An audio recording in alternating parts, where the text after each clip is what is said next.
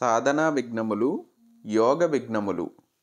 మంత్ర తంత్ర సాధకులు యోగ జిజ్ఞాసువులు సాధనల గురించి తెలుసుకోవడం చాలా అవసరం. అలాగే దానిలోని సాధక బాధల గురించి కూడా తెలుసుకోవడం చాలా అవసరం. ప్రపంచంలో వివేకవంతుడు ఉత్తమ కార్యాలను సాధించడానికి దాన్ని సక్రమంగా విజయవంతం చేయగల సాధనలను ఎన్నుకుంటాడు. దానిలో రాబోయే అడ్డంకులను కూడా తెలుసుకుంటాడు. ఆ తర్వాత వాటిని ఎలా దూరం చేయాలో వాటికి తగిన ఉపాయాలు అన్వేషిస్తాడు. అడ్డంకులు విఘ్నం చేసినప్పుడల్లా వాటిని తొలగించడానికి ఆ ఉపాయాలను ఉపయోగిస్తాడు. అదేవిధంగా ఇక్కడ సాధకుడు సాధనా మార్గంలో ఎదురయ్యే అంతరాలను విఘ్నాలను వాటిని తొలగించడానికి ఉపాయాలు తప్పకుండా తెలుసుకోవడం చాలా అవసరం. ఈ క్రింది విధంగా వివరించే విషయం మంత్ర తంత్ర సాధకులకు యోగ సాధకులకు వర్తిస్తాయి. ఒకటి వ్యాధి. వాత పిత్త కఫ అన్నపానాదుల ద్వారా ఉత్తమ ఉత్పన్నం అయ్యే రసం ధాతువులు మొదలైన వాటిలో వైషమ్యం అంటే అసమానత ఏర్పడడం వ్యాధి. ఈ వ్యాధి వల్ల సమాధి భంగం అవుతుంది. అవును సాధకుడు వ్యాధిగ్రస్తుడైతే కొంతవరకే సమాధిలో ఉండగలడు. ఆ బాధను కష్టాన్ని నిరోధించగలడు. అంతకు మించి వ్యాధి సంభవించినప్పుడు సమాధి భంగం అవుతుంది. అప్పుడు ఆ రోగం ద్వారా కలిగే బాధను సాధకుడు అనుభవించాల్సి ఉంటుంది. కొత్త సాధకులకు సాధారణ వ్యాధి ద్వారా కూడా మామూలు ధ్యానం కూడా భంగం అవుతుంది. కాబట్టి వ్యాధి యోగానికి శత్రువు. అదేవిధంగా యోగం వ్యాధి విరోధి. యోగం సమస్త మానసిక రోగాలను తక్షణమే దూరం కూడా చేస్తుంది. కొంతవరకు మాత్రమే శారీరక జబ్బులను నయం చేస్తుంది. కానీ మానసిక రోగంలాగా ప్రతి శారీరక రోగాలను నయం చేయలేదు. కాబట్టి సాధకులు శారీరక మానసిక బలం కోసం తగిన విధంగా వ్యాయామం ప్రాణాయామం శాకాహారం తీసుకోవడం అవసరం. సమస్త చెడు అలవాట్లకు దూరంగా ఉండాలి. రెండు అకర్మణ్యత. శ్రమించడం నుంచి తప్పించుకోవడం శారీరక మానసిక పరిశ్రమ చేయడం ఇష్టం చూపని సాధకుడు ఏ విధమైన సాధనలకు అర్హుడు కాడు. యోగి కాలేడు. అకర్మణ్యతను తొలగించడానికి తప్పకుండా పరిశ్రమ చేయడం అవసరం. ఏ ఏ సాధనలు అయితే చేస్తున్నారో దానికి అవసరమయ్యే సమస్త క్రియాకలాపాలను తప్పనిసరిగా చూ చేస్తూ ఉండాలి. ఆ విధంగా పరిశ్రమ చేయడం వలన అకర్మణ్యతను తొలగించడానికి మార్గం దొరుకుతుంది. మూడు సంశయం.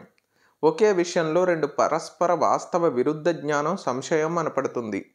ఉదాహరణకు సాధకుడు భగవంతుడు ఉన్నది లేనిది తేల్చి తెలుసుకోలేడు. ఉన్నాడని తెలుసుకుంటే ఆ తర్వాత ఆ భగవంతుడు సాకారుడా లేక నిరాకారుడా అనే విషయంపై నిశ్చయానికి రాలేడు. ఇటువంటి సంశయం వల్ల సాధకుడి సాధన కుదరదు. సాధన నేర్చుకున్న తర్వాత ఈ సాధన చేయగలనా? చేస్తే ఎంతవరకు సఫలీకృతం అవుతుంది అని మొదలైన అంశాలను సాధన నేర్చుకున్న తర్వాత ఆలోచిస్తాడు. ఈ సంశయం వల్ల సాధకుని మనస్సు విచలితం అవుతుంది. సాధన మధ్యలోనే ఆంఫట్ అవుతుంది. అతని సాధనను మధ్యలో వదిలేస్తారు. ఇలా చాలామంది ఉన్నారు. సందేహం తీరగానే సాధకుడు లక్ష్యంపై ముందుకు వెళ్తారు. సమాధానం లభించకపోతే మధ్యలో ఆపేస్తారు. ఏ సాధన విషయంలో అయినా సరే సందేహం ఉత్పన్నం అయినప్పుడు సాధకుని ప్రయాణం ఆగిపోతుంది. అసలు ఆ మార్గంలోకే రాకపోవచ్చు. లేకపోతే మధ్యలో ఆగి వాచ్మెన్ డ్యూటీ ఎక్కవచ్చు కూడా. కాబట్టి సాధకులకు సంశయం అనేది శత్రువు అపనమ్మకం శత్రువు భక్తి లేకపోవడం శత్రువు. సాధకుడు ఈశ్వరుని సహాయంతో సాధన ద్వారా తన జ్ఞానాన్ని పెంచుకొని దాన్ని దృఢం చేసుకున్నప్పుడు అతని సందేహాలన్నీ దూరం అవుతాయి. కాబట్టి ప్రతి సాధకుడు తప్పనిసరిగా సజ్జన సాంగత్యం సద్గ్రంథ పఠనం చేయాలి. నాలుగు ప్రమాదం. సమాధి సాధన పాటించకుండా ఉండటం. వాటిని ఉపేక్షించడం ప్రమాదం. సాధన చేయడానికి అర్హత కలిగి ఉండి కూడా ఆచరించకుండా ఉండటం. సాధకులు సాధన చేస్తే ముందంజ వేస్తారు కానీ ఆచరణ ఉండదు. ఏ కార్యసిద్ధికి అయినా ఆ కార్యానికి సిద్ధింప చేయగల సాధనలను ప్రయోగించవలసి ఉంటుంది. సాధనలను ప్రయోగించడం కాకుండా సాధ్యం సిద్ధించదు. ఐదు ఆలస్యం. శరీరం మనస్సు బరువుగా ఉండటం వల్ల సాధకుడు సాధన వదిలేస్తాడు. ఆలస్యం అంటే శరీరంలో మనసులో ఉండే మధ్య ప్రతి కార్యానికి శరీరం మనసు తేలికగా ఉండటం అవసరం.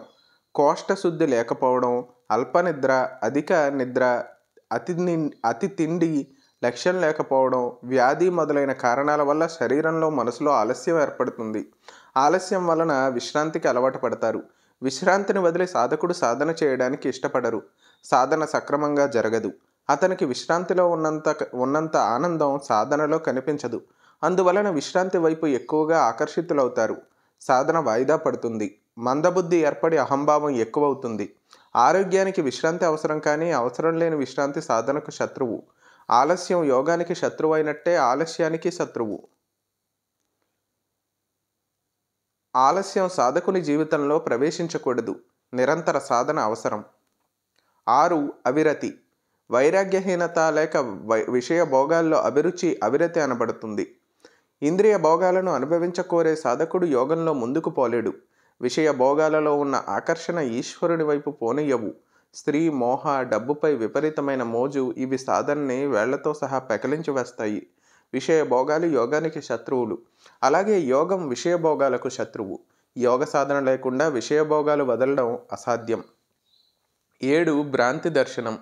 భ్రాంతి దర్శనం అంటే విరుద్ధ జ్ఞానం. ఉదాహరణకు జడమును చేతనమని చేతనాన్ని జడమని అనుకోవడం. ఈశ్వరుడు కానీ దాన్ని ఈశ్వరుడు అనుకోవడం దాన్ని ఈశ్వరుడిగా ఉపాసించడం.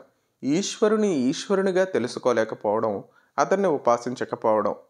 హానిప్రదమైన వాటిని లాభప్రదం అనుకోవడం లాభప్రదాలను హానిప్రదం అనుకోవడం భ్రాంతి దర్శనం అనపడుతుంది. కాబట్టి విరుద్ధ మిథ్యాజ్ఞానం యోగనాశకం. యోగం మిథ్యాజ్ఞాన నాశకం సమాధిని పొందినప్పుడు సాధకుడి అజ్ఞానం నాశనం అవుతుంది. సత్యదర్శనం అవుతుంది. ఎనిమిది సమాధి లభించకపోవడం. సాధకుడు చాలా కాలం పాటు సాధన చేస్తాడు కానీ సమాధి సిద్ధి మాత్రం కాదు. అతనికి నిరాశ ఆవరిస్తుంది. సమాధిని సాధించే అభిలాష స్వల్పం అవుతుంది. దాంతో సాధనలో ఉన్నతి ఆగిపోతుంది. దాంతో సెల్ఫ్ డబ్బా కొట్టుకునే అలవాటు మొదలవుతుంది. గోరంతను కొండంత చేసే తన సాధన గురించి గురువుగారి గురించి ప్రచారం చేయడం మొదలవుతుంది. మనసులో మాత్రం నిరాశ వెక్కిరిస్తూ ఉంటుంది. తాత్కాలికమైన అనుభవాలు అనుభూతుల గుమ్మం దగ్గర విడవకుండా దగ్గర నిలబడి ఉంటాడు సాధకుడు. ఈ స్థితిలో సాధకుడు పట్టు విడవకుండా ఋషులు బోధించిన వాటిలో ఒక అంశాన్నైనా సాక్షాత్కరించుకోవాలి. దాని పరిణామాలు కనపడతాయి. శ్రద్ధ అభివృద్ధి అవుతుంది. సెల్ఫ్ డబ్బా కొట్టుకునే లక్షణం నుంచి బయటకు రావాలి.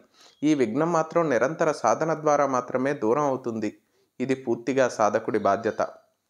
ఆరు అనవస్థితత్వం.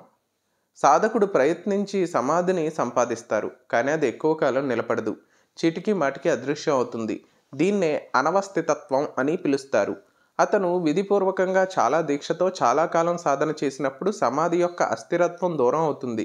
దీనికి సాధకుడు పూర్తి బాధ్యత వహించాలి.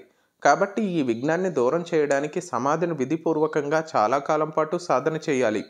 ఇంకా కొన్ని విఘ్నాలు ఉన్నాయి. అవి దుఃఖం దౌర్మనస్యం అంటే సంకల్ప విఘాతం వలన చిత్తంలో కలిగే క్షోభను దౌర్మనస్య అంటారు.